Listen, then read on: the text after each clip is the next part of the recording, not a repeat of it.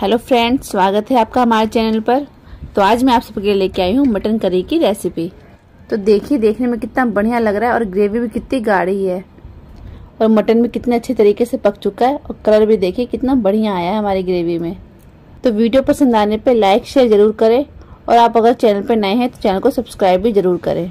तो चलिए, हमने इसे कैसे बनाया है, आगे की वीडियो में देखते हैं। इस रेसिपी को बनाने के लिए मैंने एक किलो मटन का इस्तेमाल किया है। जिसे मैंने अच्छी तरह से साफ़ करके धो लिया है। और मटन को मैंने एक बड़े से बाउल में रख दिया है क्योंकि इस रेसिपी को बनाने के लिए मुझे बड़े से बाउल की ज़रूरत है। तो सबसे पहले इस रेसिपी को बनाने के लिए मैं मटन को मैरिनेट करूँगी। सबसे पहले डालूँगी हल्दी पाउडर और साथ में डाल दूँगी यहाँ पे दो चम्मच लाल मिर्च का पाउडर, दो चम्मच धनिया का पाउडर, एक चम्मच काली मिर्च और जीरा का पाउडर। ये भुना हुआ जीरा काली मिर्च है। यहीं पे डाल देंगे स्वाद अनुसार नमक। और यहीं पे मैं कुछ हरी मिर्च डाल दूँगी। साथ में डाल दूँगी भर के एक चम्मच लहसुन अदरक का पेस्ट। और यहीं पे डालेंगे हम एक कटोरी फ्रेश दही। दही डालने के तुरंत बाद हम यहाँ पे डालेंगे थोड़ा सा सरसों का तेल। तेल को डालते ही हम मटन को सही से मिला लेंगे। आप चाहते हो ये काम स्टैचुला या चम्मच की हेल्प से कर सकते हो, पर मैं हाथ से कर रही हूँ, क्योंकि हाथ से जो अच्छी तरीके से ये मैग्नेट हो जाएगा, सभी मसाले अच्छे से मिल जाएँगे। तो आप देख सकते हैं, मैंने मटन को अच्छी तरीके से मसालों में मिला दिया है तो अब मैं इसे ढक के आधे घंटे के लिए रेस्ट में रख दूँगी।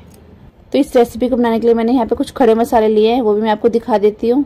ये जीरा, कुछ काली मिर्च है, दो बड़ी इलायची चार छोटी इलायची, जावित्री, लौंग, ये चार पाँच लिए मैंने लाल मिर्च सूखी। यहीं पे मैंने तेजपत्ता लिया है दो तीन, ये स्टार फूल और ये दालचीनी।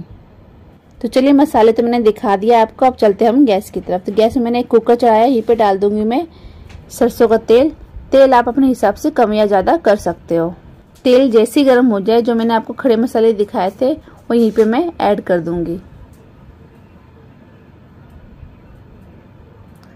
सभी मसालों को ऐड करने के बाद हम इसे मसालों को हल्का सा भून लेंगे तेल में, ताकि अपना फ्लेवर है जो गरम मसाले तेल में छोड़ दे।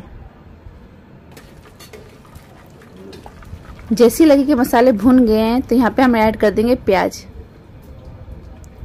तो प्याज को मैंने पहले से काट कर धोकर रखा था। एक किलो मटर बनाने के लिए हम 500 से 600 ग्राम प्याज का इस्तेमाल कर रहे हैं। इस बात का ध्यान ज़रूर रखें प्याज को मोटा मोटा बिल्कुल भी ना काटें। प्याज को पतले पतले स्लाइस में ही काटें।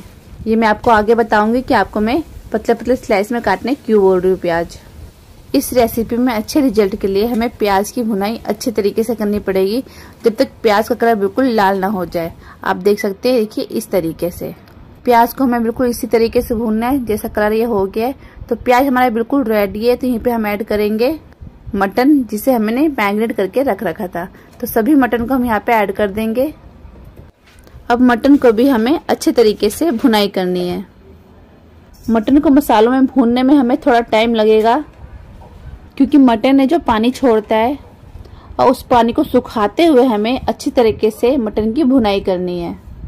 कई लोग कहते हैं कि मटन की ज़्यादा भुनाई करने से मटन है जो सही से पकता नहीं है, पर ऐसा कुछ भी नहीं है। मटन की जितनी अच्छी तरीके से भुनाई होती है उसका स्वाद भी उतना ही ज़्यादा बढ़ के आता है।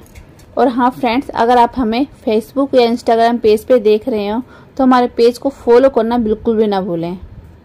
थोड़ा भुनने के बाद हम यहीं पे ऐड करेंगे मीट मसाला मीट मसाला डाल के भी हम इसकी भुनाई अच्छी तरीके से करेंगे। तो गैस आप ये रेसिपी एक बार ज़रूर ट्राई करें। बहुत ही स्वादिष्ट बन के तैयार होता है ये इस तरीके से। मेरे घर में तो सब बहुत ही पसंद करते हैं जब मैं इस तरीके से बनाती हूँ इस रेसिपी को तो। तो मीट मसाला डालकर भी मैंने अच्छे तरीके से भुनाई कर दिया है। देखिए कितना बढ़िया कलर आ गया हमारे मटन में। और देखिए तेल भी छोड़ दिया मटन ने अच्छे तरीके से। आप देख सकते हैं, चारों तरफ़ तेल तेल हो रहा है और नीचे से चिपक भी रहा है। बस हमें यहीं तक भुनाई करनी है, जब तक मटन है जो नीचे से चिपकने ना लग जाए और तेल सारा छोड़ ना दे। अब यहीं पे हम पानी ऐड करेंगे। ग्रेवी जो आप अपने हिसाब से रख सकते हैं, पतला या गाढ़ा। पतला रखना है तो ज़्यादा पानी ऐड करें और ग्रेवी गाढ़ी रखनी है तो पानी कम ऐड करें। तो मैंने पानी कम ही ऐड किया है क्योंकि मुझे ग्रेवी जो गाढ़ी चाहिए। पानी डालकर अच्छे तरीके से मिला लूँगी मैं। और अब ढक्कन लगाकर हम कुकर में तीन से चार सीटी आने देंगे। तो सीटी लग चुका है और गैस भी निकल चुका है। तो मैं ढक्कन खोल रही हूँ। देखिए, हमारा मटन बनके तैयार है। कलर कितना बढ़िया लग रहा है और कितना लाजवाब लग रहा है हमारी रेसिपी देखने में। और ये बिल्कुल अच्छे तरीके से पक चुका है।